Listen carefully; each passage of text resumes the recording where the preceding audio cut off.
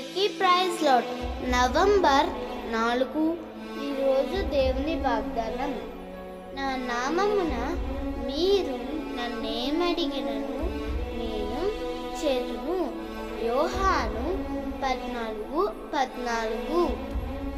ఆయన నామము పరిశుద్ధమైనది పూజింపదగినది. ఆయన నామంలోనే మనము రక్షించబడుతుంది. ఆయన నామంలోనే మనం జీవించుతున్నాము ఆయన బిడ్డలగా మనం ఏమడిగినా తప్పక మనకు అనుగ్రహిస్తాడు. మనము అడిగిన వాటన్నిటిని దేవుడు మనకు అనుగ్రహించునుగాక. ఆమె